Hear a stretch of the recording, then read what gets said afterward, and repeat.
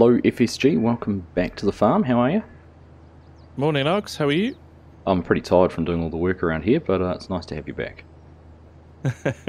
I apologise. I am back, and I will uh, make up for it today. Uh, that's all right. I got rained off. We got the rolling. Well, I got the rolling done on those three fields, and it started raining, so uh, didn't get much else done. Good. Well, that means we've got some stuff to do today, doesn't it? It does. It does. I think we're going to uh, go and lime one little field on the other side of the road, and uh, then get some canola planted in the two fields here. All right, that sounds like a plan. Um, I will go and fill up the seeder then, I think, shall I? If you want to get started on the line. Yep, sounds good. Yeah, I'll run over and do that, and uh, you get planters and seeders and whatnot sorted out, and we can uh, crack into it. We'll only need one seeder to do that field over the road. It's pretty small, so. No worries. All right, yeah. Well, I'll sort the seeders out then, and then hopefully I'll, you'll be back in time. Probably, probably. Cool. Well, let's get to it. Let's do it.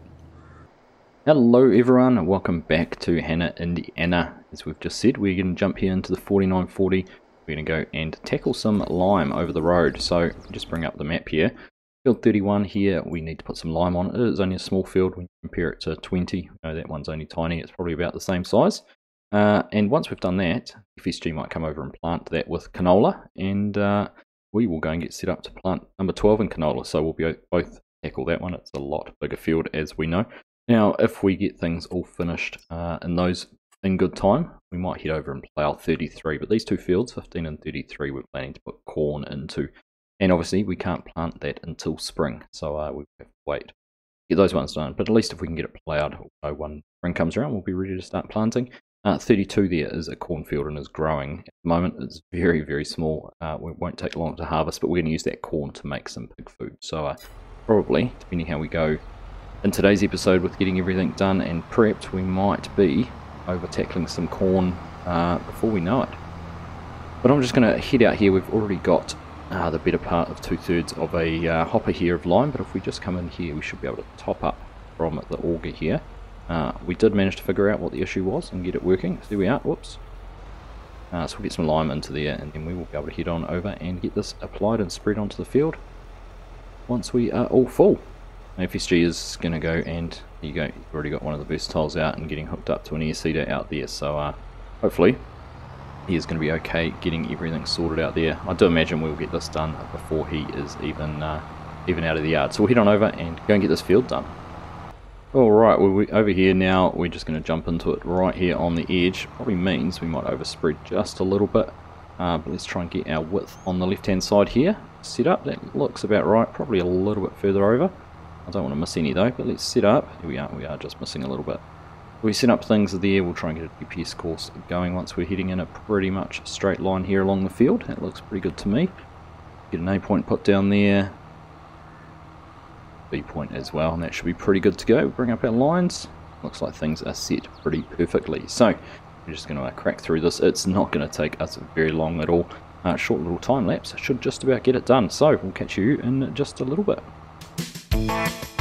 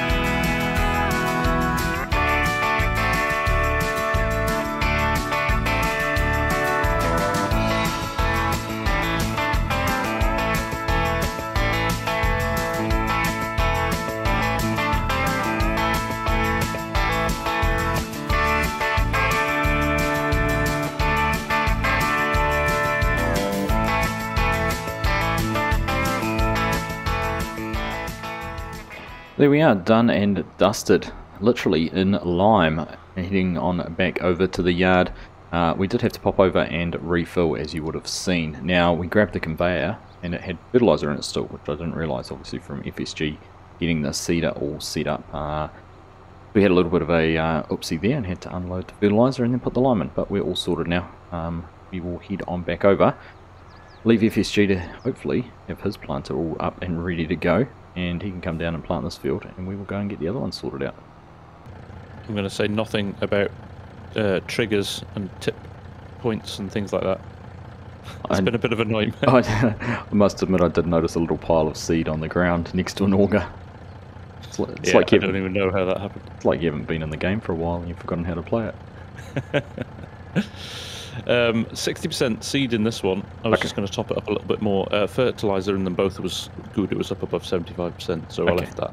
Okay. Do you want to, you go over and seed that other field, then I'll tidy up here and get this finished off if you like. All right, mate. Just needs a little top up. And the Yeah. trigger, actually, if you reverse the truck up, the trigger catches it without you needing to move the auger. If you want to, that Oh, okay. little secret. Yeah, okay. Cool. Alright, there we go. We'll save him any more embarrassment and blushes and uh, we'll tidy this up for him. So, I think he was saying can use the truck without actually having to get too close to this. Uh, probably put the truck next up into here. I think the trigger's about here. We can probably fill that up. So we'll give that a go instead of using the auger. But we will need to make sure we have enough seed in here. Uh, what do we got? Oh, he's got two and a half thousand litres. Will that top a bit up? We just might need to jump up the front here and uh, just change which hopper we're putting the seed into. Let's have a look here. Yeah, so we'll just move that over. You can see our front one is full, so we'll put that onto there. We'll go jump back in the truck, tip it in, and see how much closer to full we are then. Alright, there we are.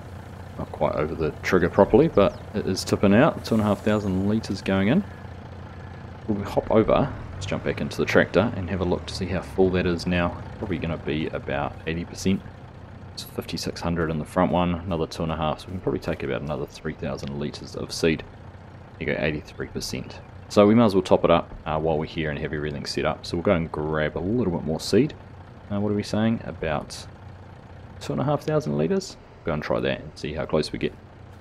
There, if we do get backed in right here next to the silo, we don't actually need the auger to fill it up with. So that's nice. We've got 3100 litres. Let's go and see how close we get to filling the hopper up with that. Should be able to just back up to it and we'll be able to tell whether it takes it all or not.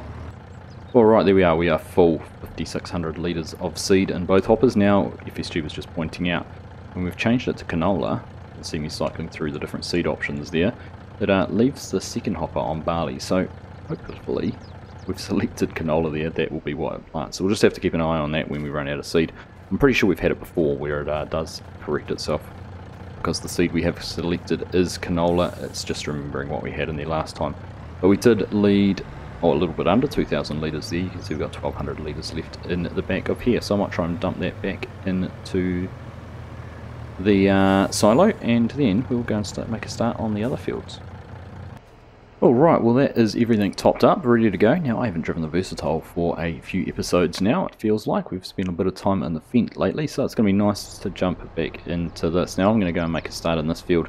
There's no point going to the effort of unfolding this and having two of these running down in that little field. Uh, we'd be done in no time. So I'll get things set up in here. Uh, we'll put up some course play or auto drive or guidance steering courses, some GPS courses, get the right terminology there, and uh, we'll get this all set up. And hopefully we can do a couple of headland passes, get the field all set up. Then when FSG gets over here, he can just join in and uh, help us out as well. But there we are, getting all this all folded and everything down. Now I did pick up the uh, couple of pellets of fertilizer that we had to take out of the spreader before and top them into here as well. So we're pretty much full up on fertilizer. There we are. We'll be able to get this turned on, get the toolbar all lowered down. We do have canola selected. Now I am just going to nose forward just a touch. Take a look there. See we're getting our green colour there. Same as what um, some guys doing down there in field 31. So with that in mind, I think we will start mosey on down just a little bit here. We'll just work on getting another GPS course all set up on here. We will get it all saved and then we'll jump into getting this field all underway. Alright, and we are well and truly underway. Now I do just come to the realisation, I think, that uh, we don't actually have to put any more nitrogen on here because of course we did put the anhydrous on to start off with. So our nitrogen is actually pretty much perfect already for canola. So we will uh, not use up too much of the fertilizer in this planter, which is uh, just fine. And we'll just start to box through the seed. So again, while we wait for FSG to get over here, let's just uh, time-lapse us getting these headlands done. Get this field all opened up, set up. We've got the GPS course all up and running. We've saved that, so when FSG gets over here, he can join us on that same course, and uh, we'll just get things planted. So, let's roll the music again, and we'll catch up with you in just a little bit.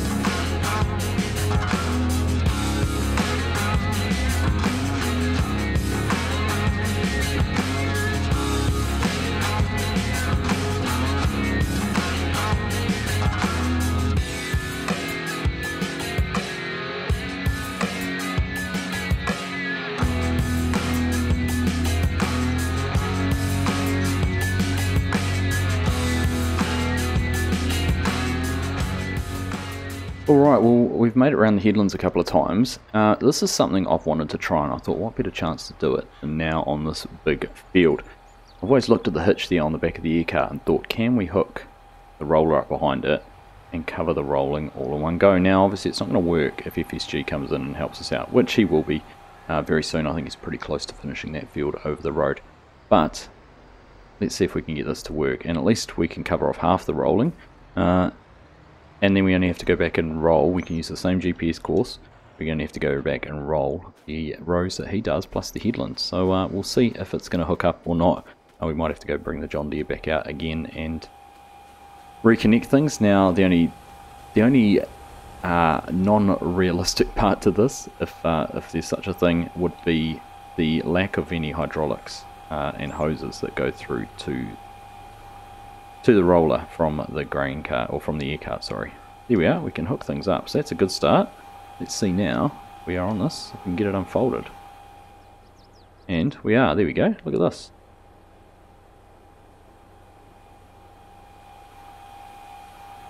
So we are going to be not too much wider. Uh, I'm just trying to remember, the Mandako is 65 or 75 foot, and we're planting at 60 feet. So it's not too much difference. So 22.9 meters wide in there for the roller. And if we have a look at our seeder, 65 feet, so 19.3. So there's only about 2 meters difference. So it's not too much of an overlap, really, when you look at it. I think it must be 65 feet for the seeders and maybe 75 for the roller. They're not too far apart. Question will be, there we go, we can lower that down there. Lower our uh, toolbar back down. Big question is going to be, can the tractor pull it? How is the horsepower on this big versatile? And well, you ask me, she's pulling it no worries. Up to 9 miles per hour. So uh, there we go, we are doubling down on our rolling and our planting at the same time. That's going to make things a whole lot faster and be a whole lot more efficient because it's one less task we need to come back and do, or at least when we do do it, we only need to do it in some little sections. There you are. Hook a roller up to the back of your cart make your job and your life a whole lot easier. Shame we don't have two of them. We could have uh, both been doing it this way.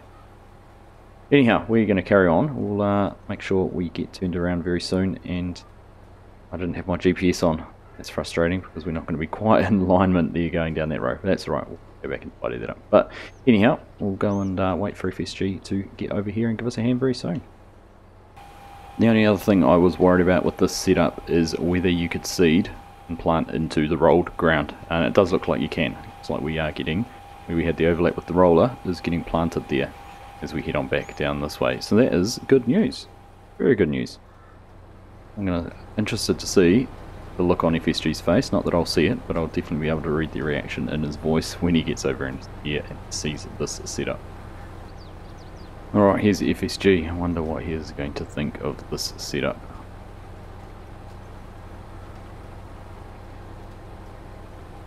Oh, look at you, you genius, with your roller on the back. I wonder what you'd think of that. I thought uh, Very clever. bumping up the efficiency. Working out alright actually. I am impressed. Yeah, it looks great. Shame we don't have two of them. It is. It is. Yeah. Um, there's a GPS course already saved for this field 12 Cedar, I think it is. So just jump in and maybe if you go to the other side of the field and then we'll have a solid block of unrolled ground to do. Yeah. I was trying to work out what you'd done and what you hadn't done. So you've done the you've done the I've done the outside, you- done the headlands and then I've started on the side and working my way across. All right. Cool. Uh, there we go. Suitably impressed. But like I said, it is a shame we don't have two of them. Would have made things a whole lot more efficient.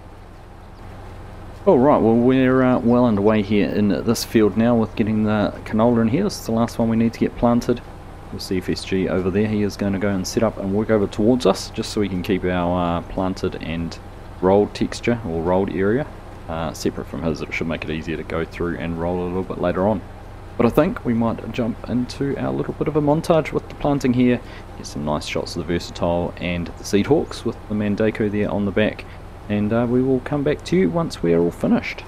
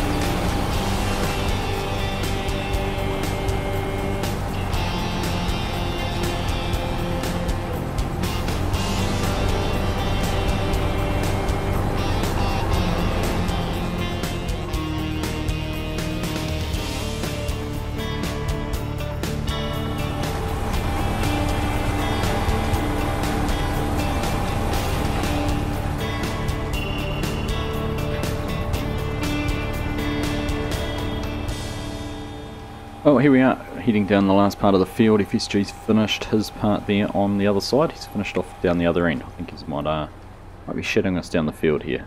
Here he is. He wants to get a screenshot or something when we're done. But uh, here we are. This has worked out really, really well with the rolling. So you can see we've rolled across to here. In fact, have a look there on the map. You can see uh, see what we've done. So a pass around the headlands and then a few passes there on the upper side of the field and we'll be all done and uh, also field 31 down there to get rolled as well so uh, it's worked out really well I'm really impressed with how well this has actually gone to get everything done as uh, efficiently as we can very happy with it but anyway we are here at the end so we'll get this uh, all turned off lifted up and uh, we'll get it folded up and back over to the farm Nicely done, Uggs. Yes, went nice and smooth as it always does. uh, even smoother having that roller on, having a smoother rolling texture.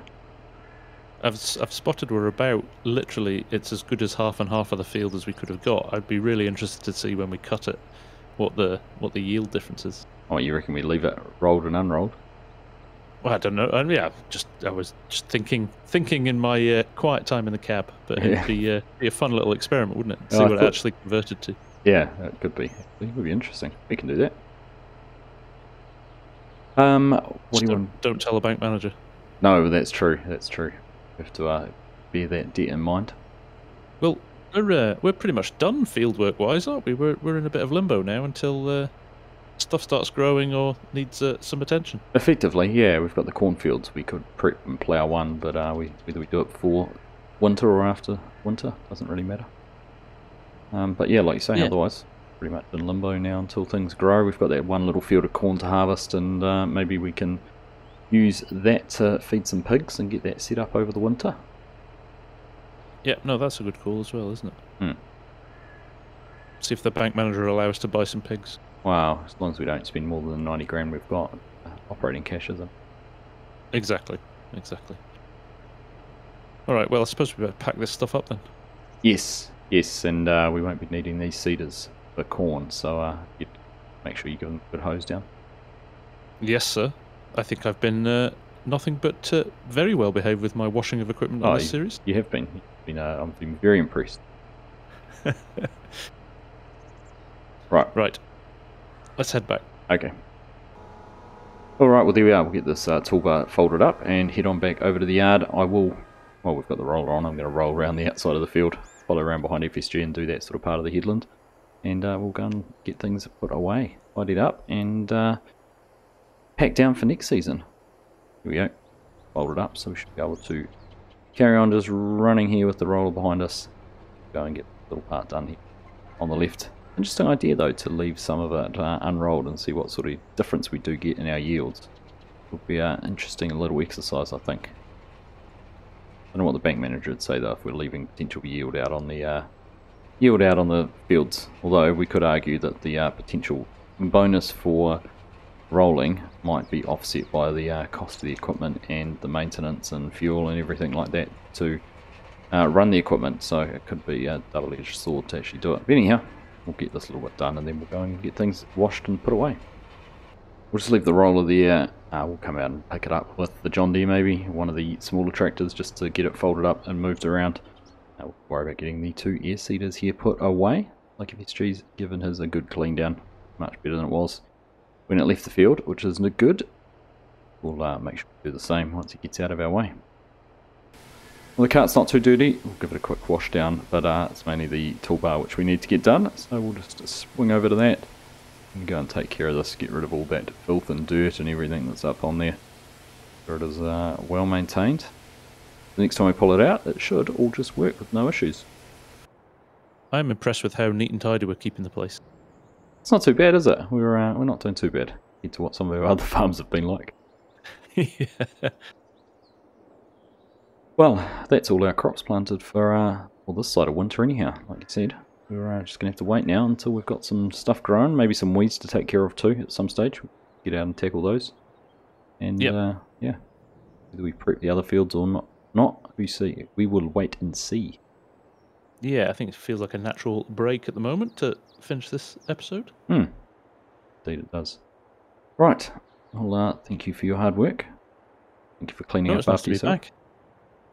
back. I do my best. Uh, that is good to be back. Good to have you back. Good to have your help.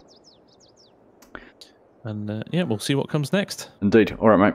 Take care. Have a good week, and uh, we'll catch you soon. Yeah, cheers, Ogs. Take care, mate. Bye. Bye bye. Well, there we are. That is all planted, and uh, well, say it needs rolling. Some of it does need rolling. 81 acres in here, which is fantastic. So uh, we will just wait and see what comes for next time. We'll, uh, we do have a few things to do, so uh, wait and see where we end up with time. Just need to make sure if we're not going to roll any more of this, that we get this roller out of here, or the uh, crop grows up around it, because that could be a little bit difficult to extract once it has uh, crop growing up there, canola growing all around it. So we'll sure get in here and pull that out, give it a good clean off, and uh, put it away. So, as always, thank you all very much for watching. Hope you've enjoyed that episode, and uh, we look forward to catching you in the next one.